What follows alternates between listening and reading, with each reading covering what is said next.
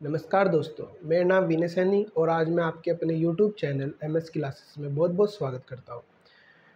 आज हम बात करने वाले हैं यूपी पुलिस के यूपी पुलिस कांस्टेबल के सिलेबस और उसकी संपूर्ण जानकारी की बात करेंगे हम इसमें। अगर आप हमारे चैनल पर नए हैं तो कृपया करके आप हमारे चैनल को सब्सक्राइब कर लीजिए। तो चलिए बात करते हैं। आपको अभी ये मालूम तो चली गया यूपी पुलिस की बहुत बड़ी भर्ती आने वाली है। इतिहास की सबसे बड़ी भर्ती कही जाने वाली है ये। जिसमें लगभग पद कितने दिए गए हैं? बावन हज़ार छः सौ निन्यानवे। और इसकी जो आवेदन की तिथि बताई गई थी, वो पंद्रह जुलाई को बताई गई थी। और इसको बताया और ये अभी तक संभावित है, ठीक है? और इसमें जो परीक्षा तिथि, ये भी संभावित दी गई है, क्योंकि दिसंबर 2023 बताया गया है, परीक्षा की तिथि जो एग्ज़ाम होगा हमारा। लेकिन ये हम कंफर्म नहीं कह सकते, क्योंकि ये संभावित है। हम इसकी योग्यता की बात करते हैं। योग्यता जो दी गई है, वो ट्वेल्थ पास दी गई है।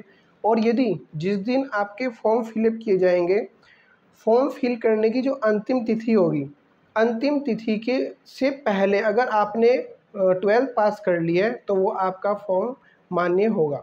इसलिए जिस जिस व्यक्ति की ट्वेल्थ पास नहीं है तो वो एग्ज़ाम मतलब कि अंतिम जो तिथि होगी, फॉर्म फिलअप करने की, उससे पहले होनी चाहिए।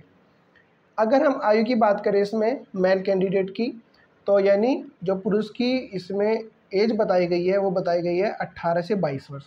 पाँच वर्ष की आपकी इसमें छूट भी इंक्लूड हो जाएगी। फीमेल की बताई गई है अट्ठारह से पच्चीस वर्ष। पाँच वर्ष की छूट इसमें मिल जाएगी आपको। अगर शारीरिक योग्यता की बात करें मेल की तो इसमें जो ऊंचाई दी गई है हाइट दी गई है, वो 168 सेंटीमीटर दी गई यानी एक सौ अड़सठ सेंटीमीटर बताई गई है। और जो सीना होगा वो सेवेंटी नाइन और फुलाव के साथ पाँच, यानी पाँच का फुलाव आना चाहिए। यानी लगभग कितना बैठ जाएगा ये? ये बैठ जाएगा एट्टी फोर।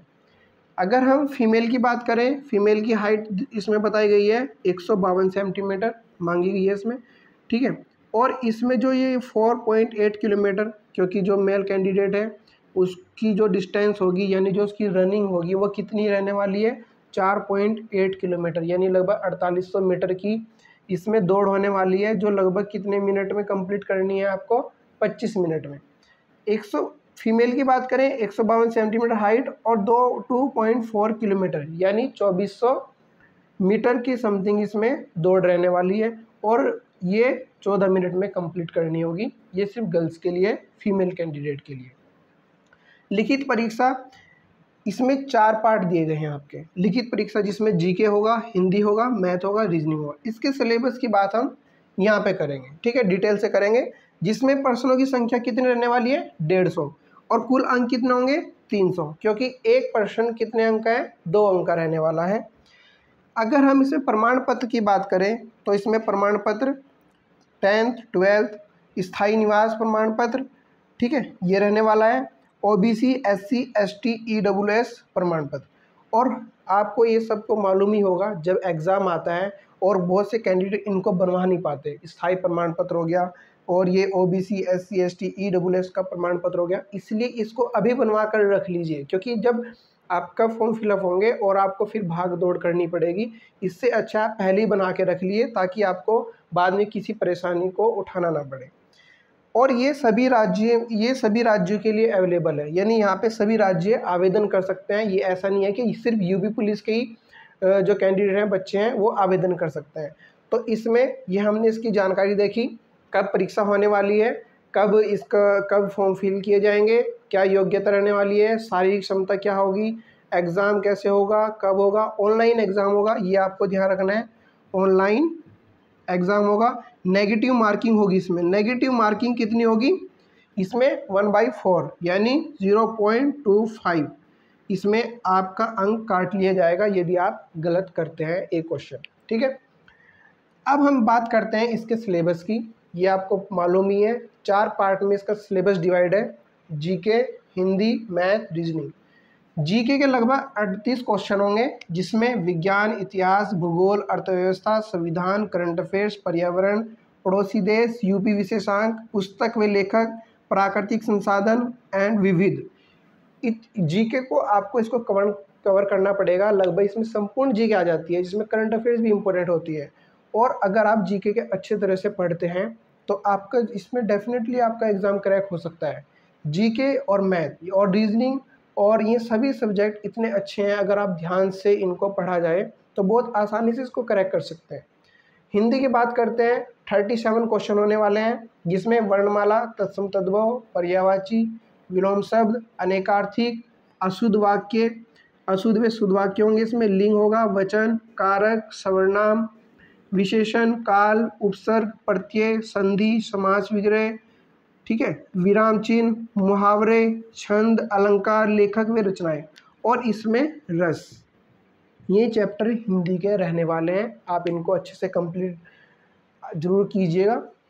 मैथ में अड़तीस क्वेश्चन रहने वाले हैं, जिसमें संख्या पद्धति, सरलीकरण, दशमलव मैसेल ऐसे अनुपात एवं समानुपात, प्रतिशतता, लाभ हानि सी आई एंड एस आई यानी कंपाउंड इंटरेस्ट और सिंपल इंटरेस्ट साधारण ब्याज, चक्रवृद्धि ब्याज। छूट, औसत, समय व कार्य, समय व दूरी, सारणी ग्राफ, क्षेत्र मिति यानी मैंसुरेशन और साझा। ये मैथ के चैप्टर रहने वाले हैं। आप इनको भी अच्छे से कीजिएगा। रीजनिंग में आ जाते हैं। हम रीजनिंग में भी थर्टी सेवन क्वेश्चन दिए गए हैं और ये सबसे अच्छा पार्ट बताया जाता है क्योंकि इसमें आप थर्टी सेवन कंप्लीट नंबर पा सकते हैं। इसमें लुप्त संख्या दी गई है। जैसे कि आपने देखा होगा, चार क्वेश्चन चार नंबर दे दिए जाएँगे, एक डिजिट को छोड़ दिएगा तो वो लुप्त संख्या का पार्ट हो गया। सादृश्यता आ जाएगी, जिसमें आपने देखा होगा, ऐसे क्वेश्चन आते हैं, दो अनुपात, चार अनुपात, और फिर यहाँ पे छः अनुपात, यहाँ पे आपको बताना होता है। ये सादृश्यता का पार्ट होगा। वेन आरेख के क्वेश्चन होंगे, जैसे कि भाई मेज, टेबल, पुस्तक दे दी, आप बताइए इनमें क्या संबंध है। और ये ऐसे दे दिया जाएगा आपको, ऐसे। ये ऐसे दे दिया जाएगा। आप समझ सकते हैं। आप इसका सिलेबस अच्छे से अपने टेबल के सामने लगाइए और एक एक चैप्टर कंप्लीट करते जाइए। चारों पार्ट का। अगर आप ये रणनीति फॉलो करते हैं तो आप डेफिनेटली एग्ज़ाम को करेक्ट कर सकते हैं। रथ संबंध, सांकेतिक भाषा, बैठक व्यवस्था, ये भी बहुत हार्ड चैप्टर माना जाता है, लेकिन अगर आप आराम से एक बार कर लीजिए अच्छे से तो बहुत आसानी से हो सकता है। बैठक व्यवस्था में, यानी गोल एक मेज के चारों ओर बिठा दिया जाएगा। उसमें से बताना है कौन दाएँ से चौथा है, कौन दाएँ से दूसरा है। पासा, कैलेंडर कैलेंडर बहुत इंपॉर्टेंट चैप्टर है। दिशा परीक्षण, घड़ी, दर्पण प्रतिबिंब, जल प्रतिबिंब, कर्म बंधता। इसमें कर्म लगाना होता है कि कर्म लगाइए इनका। न्याय निगमन न्याय निगमन भी बहुत इंपॉर्टेंट चैप्टर है।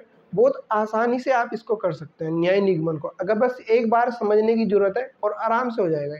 इसमें ये बोल, ये क्वेश्चन आते हैं इसमें।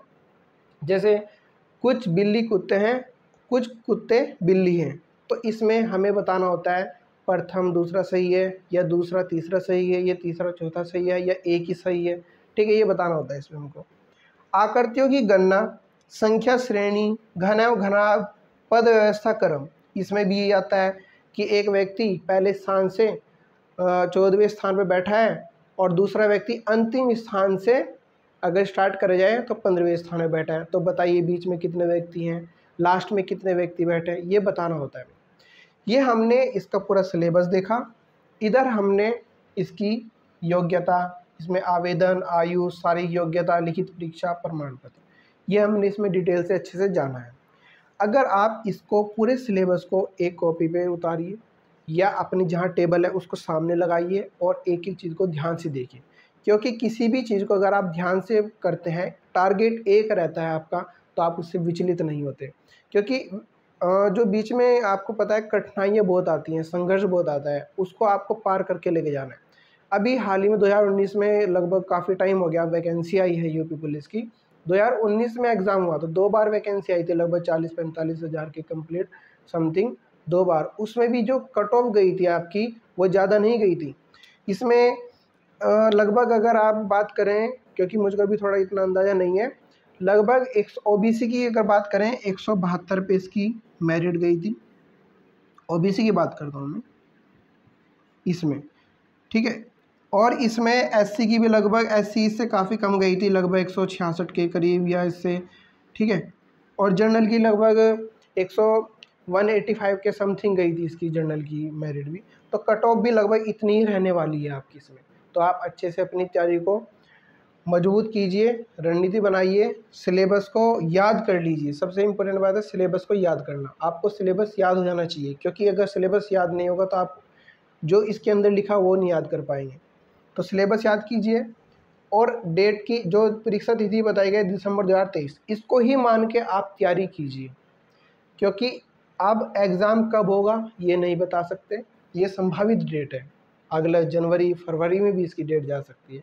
ठीक है? तो आई होप आपको ये जो वीडियो है अच्छी लगी होगी, पसंद आई होगी। तो लाइक, सब्सक्राइब, शेयर एंड ज़रूर कीजिएगा। ठीक है? अपने दोस्तों को सभी। और नेक्स्ट वीडियो में हम बहुत सारी वीडियो लाने वाले हैं। इसकी जीके की, हिंदी की, मैथ, रीजनिंग की, जिसमें आप अपने यूपी पुलिस की तैयारी को मज़बूत बना सकते हैं। धन्यवाद।